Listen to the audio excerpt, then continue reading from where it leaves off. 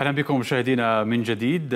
نستكمل نقاشنا حول الذكرى الثانية للحراك الشعبي المبارك وهذه الذكرى التي أصبحت بموجب مرسوم رئاسي وقعه رئيس الجمهورية السيد عبد المجيد تبون يوما وطنيا للتلاحم بين الشعب وجيشه معنا عبر الهاتف. الدكتور إدريس عطية أستاذ العلوم السياسية والعلاقات الدولية بجامعة الجزائر. دكتور مساك طيب وشكرا لتواجدك معنا عبر الهاتف.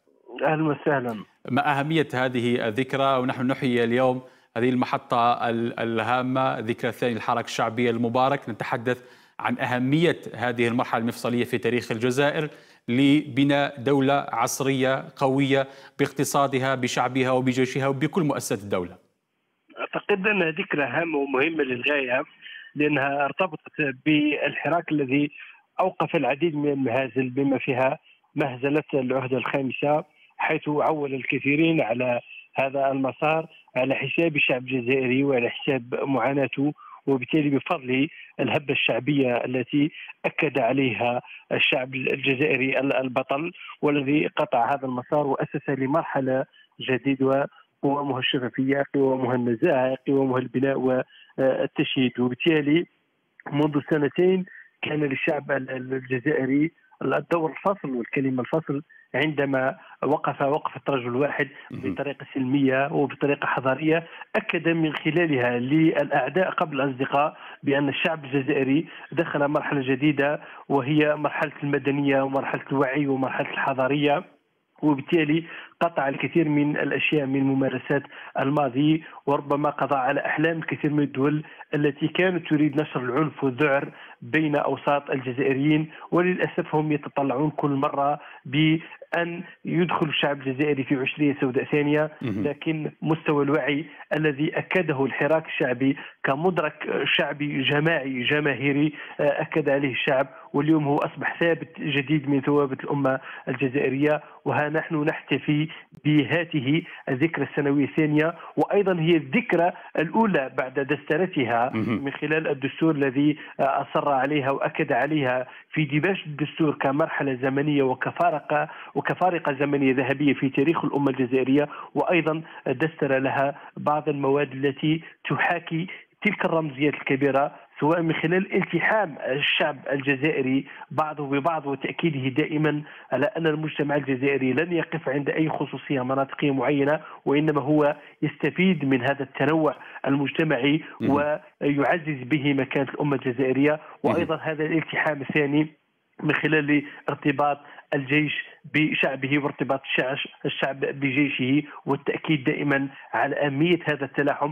سواء من خلال معركه التحرير الكبرى من براثن الاستعمار خلال الثورة النوفمبرية المجيدة أو أيضا الالتحام الثاني الذي كان واضح وبين عندما تمسك الشعب الجزائري خلال العشرين السوداء بمؤسساته العسكرية من خلال الخروج أو من أجل الخروج من الإرهاب الدموي وإرهاب الداخل. واليوم دائما كما أشرنا سنة 2019 كانت نقطة التحام جديدة لتؤكد دائما أن المؤسسة العسكرية موجودة مع شعبها بحيث تعهدت المؤسسة منذ البداية على عدم إراقة أي قطره دم والشعب الجزائري خاض حراكا تجاوز 22 مليون نسمة بمعادلات صفريه صفر قتيل صفر ضحية صفر قطرة دم وبالتالي اليوم العالم كله يفتخر بهذا المسار الجديد الذي أكد عليه الشعب الجزائري وتمسكت به إرادة الأمة الجزائرية. ونحن نحيي اليوم الذكرى الثانية للحركة الشعبية المبارك.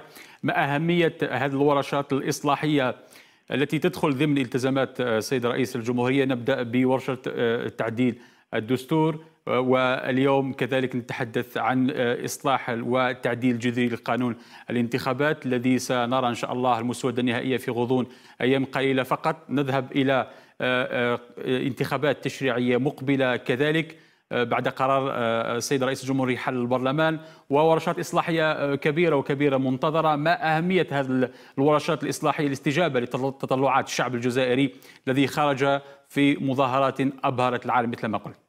نعم نعود أول شيء إلى رمزية اليوم 22 فبراير 2021 والذي يشكل نقطة نظام مهمة جدا في تاريخ الأمة الجزائرية وفي تاريخ هذه الأجندة الإصلاحية. كما أشرت آه، أنت أستاذ جودي عندما نتحدث على ورشات الإصلاح التي تم فتحها دائما نعود لتقييم الأشواط ما قطعناه فما تم قطعه ليس بالشيء الهين مرور سنتين تم من خلالها إيقاف مسار العهده الخامسة والتخلص من العديد من الوجوه التي ارتبطت بفترة زمنية آه، قديمة وأصبحت ربما ذكرى مأساوية في تاريخ كثيرين من الجزائريين. أعتقد أيضا الحراك الذي فتح المجال نحو محاربة الفساد الحراك الذي فتح المجال أيضا نحو حراك مؤسساتي مهم جدا للتخلص من الكثير من الوجوه التي لم تقدم شيء للجزائر والجزائريين. وبالتالي هي نقاط مهمة ينبغي تسجيلها لصالح مكتسبات الحراك الوطني الجزائري والحراك المؤسساتي بصفه عامة. ونبني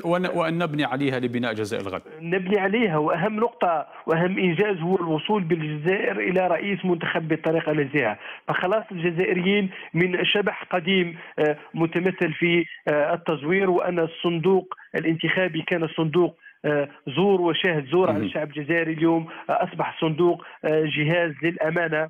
يتم من خلاله دائما عكس تصورات الشعب الجزائري وعكس طموحاتهم واحترام السلوك التصويتي للناخب الجزائري وكان لنا تجربتين بارعتين في ذلك من خلال الانتخابات التشريعية الانتخابات الرئاسية الماضية والاستفتاء على الدستور. في ظل ذلك أن كبريات الدول سنة 2020 شهدنا فيها آه، آه، تقاذف الكثير من الاتهامات بما فيها العودة لملف التزوير بما فيها العودة واليوم الاستاذ أستاذ إدريس عطية اليوم نحن آه، نحن أمام ورشات إصلاحية سيكون للشباب فيها الكلمة الفصل. لضيق الوقت شكرا لك الدكتور ديس عطية أستاذ علوم سياسية والعلاقات الدولية بجامعة الجزائر.